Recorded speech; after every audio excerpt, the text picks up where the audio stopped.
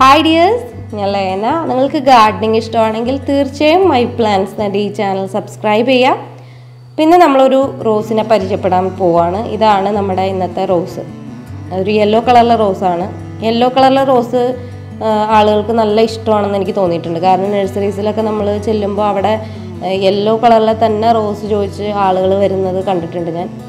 അപ്പോൾ ഇതൊരു യെല്ലോ കളറിലെ റോസാണ് ഇതിന്റെ പേര് റൈസ് ആൻഡ് ഷൈൻ എന്നാണ്. റൈസ് ആൻഡ് ഷൈൻ അല്ലെങ്കിൽ ഗോൾഡൻ സൺപ്ലേസ് അങ്ങനെ ഒരു പേര് കൂടി ഉണ്ട് ഈ ഒരു റോസിന്.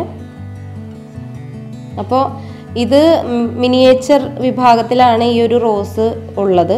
പക്ഷെ മിനിയേച്ചറിനേക്കാൾ കുറച്ചുകൂടി വലിപ്പമുള്ള പൂക്കളാണ് ഇതിൽ ഉണ്ടാവുന്നത്. ശരിക്കും ഇത് മിനി ഫ്ലോറ എന്ന് നമുക്കിതിനെ പറയാം. പക്ഷേ ഇതൊക്കെ ഒരുപാട് കാലം മുമ്പേ ഡിറൈവ് ചെയ്തെടുത്തിരിക്കുന്ന റോസ് ആയതുകൊണ്ടായിരിക്കാം ചിലപ്പോൾ ഇതിനെ മിനി മിനിയേച്ചർ എന്ന് പറഞ്ഞിട്ടൊരു ഗണത്തിൽ പെടുത്തിയിരിക്കുന്നത് കാരണം മിനി ഫ്ലോറ എന്ന് പറയുന്ന ക്ലാസിഫിക്കേഷൻ വന്നിട്ട് അത്ര അധികം ആയിട്ടില്ല. ഇതൊരു പഴയ കാലത്ത് കണ്ടുപിടിച്ചിട്ടുള്ള ഒരു റോസ് ആയതുകൊണ്ടാവാം ചിലപ്പോൾ അങ്ങനെ ഒരു ക്ലാസിഫിക്കേഷനിൽ അതിനെ പെടുത്തിയിരിക്കുന്നത്. മിനി ഫ്ലോറ എന്ന് പറയുന്ന ഒരു ഇത് കൊണ്ടുവന്നത് അമേരിക്കൻ റോസ് സൊസൈറ്റി ആണെന്നാണ് ഞാൻ വായിച്ചിട്ടുള്ളത്. അപ്പോൾ അങ്ങനെ ആയതുകൊണ്ടായിരിക്കാം. അപ്പോൾ ഇതിന്റെ പൂവിന് കുറച്ച് ഒരു വലിപ്പം മിനിയേച്ചറിനേക്കാളും കുറച്ചുകൂടി വലിപ്പമുള്ള ഒരു പൂവാണെന്ന് നമുക്കിതിനെ പറയാം. അപ്പം ഇത് ഇത് വിരിഞ്ഞ് തുടങ്ങുമ്പോൾ ഉള്ള ഒരു കാഴ്ചയാണ് അങ്ങനെ ഇരിക്കുന്നത്. ഇതിന്റെ ഇലകൾ എന്ന് പറയുന്നതും വലിയൊരു കനമൊന്നും ഇല്ലാത്ത ടൈപ്പ് ഒരു ഇലയാണ്. അപ്പം ഇതിന്റെ പൂക്കൾ കാണുമ്പോൾ നമുക്ക് നമ്മുടെ നാട്ടിലൊക്കെ സാധാരണ ഉള്ള ഒരു റോസ് ഉണ്ട് നാടൻ റോസ് നമ്മുടെ ഇവിടെയൊക്കെ അതിനെ കാട്ട് റോസ് എന്ന് പറയും. പൂക്കൾ ഇതുപോലെയാണ് ഉണ്ടാവുക. പിങ്ക് കളറിലെ പൂക്കൾ ഉണ്ടാവും. നിറയെ ഉണ്ടാവും. ചെടിക്ക് ഇങ്ങനെ പ്രാന്ത് പിടിച്ച പോലെ നിറച്ചും പൂക്കൾ അതിലുണ്ടാവും. അപ്പോൾ അതിന്റെ ഇതളുകളോട് എനിക്ക് ഇതിന്റെ ഇതളുകൾ നല്ല സാമ്യം തോന്നി. അതുപോലെ തന്നെയാണ് ഈ ചെടിയിലും. ഈ ചെടിയിൽ ഒരുപാട് പൂക്കളുണ്ടാവും.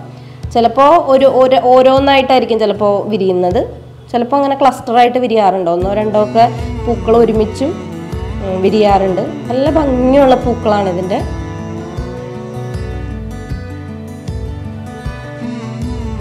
ഇങ്ങനെയാണ് ഇതിന്റെ ഇലകളുള്ളത്. ഇതിന്റെ ഇലകൾ പൊഴിക്കുന്നതായിട്ടാണ് ഞാൻ ഇതിനെക്കുറിച്ച് വായിച്ചത്.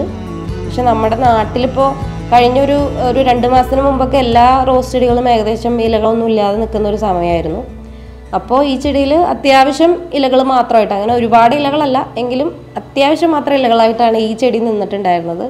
അപ്പോൾ നമ്മുടെ നാട്ടിലെ ഈ ഒരു സമയത്ത് അത് ഇലകൾ പൊഴിക്കുന്നതായിരിക്കാം ചിലപ്പോൾ എന്ന് ഞാൻ വിചാരിക്കുകയാണ്.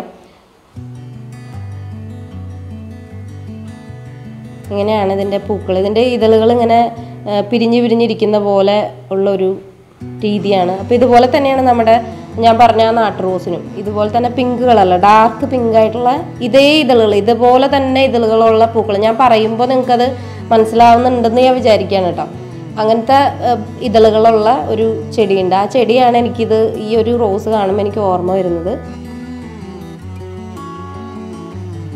യെല്ലോ റോസ് എന്ന് പറയുമ്പോൾ എനിക്ക് ഏറ്റവും ഇഷ്ടപ്പെട്ട ഒരു ചെടിയാണ് റൈസ് ആൻഡ് ഷൈൻ എന്ന് പറയുന്ന ഈ ഒരു റോസ്. നന്നായിട്ട് വിരിഞ്ഞു കഴിയുമ്പോൾ ഇതിന്റെ ലാസ്റ്റ് ലെയറിലുള്ള ഇതളുകൾക്ക് ഒരു വൈറ്റ് ഷെയ്ഡ് പോലെ വരാറുണ്ട്.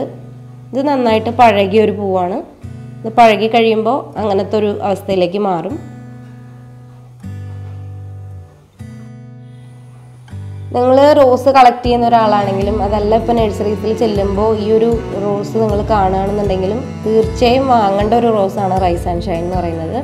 ഞാൻ സാധാരണ എന്റെ വീഡിയോസിൽ പറയുന്ന രീതിയിലുള്ള കെയറുകളൊക്കെ കൊടുത്തിട്ട് തന്നെയാണ് ഈ ചെടിയെ ഞാൻ വളർത്തുന്നത്. വലിയ കുഴപ്പമില്ലാതെ നമുക്ക് വളർത്താൻ പറ്റുന്ന ഒരു ചെടിയാണെന്ന് ഉറപ്പായിട്ടും പറയാം. വീഡിയോ നിങ്ങൾക്ക് ഇഷ്ടപ്പെട്ടാൽ ലൈക്ക് ചെയ്യുക ഷെയർ ചെയ്യുക.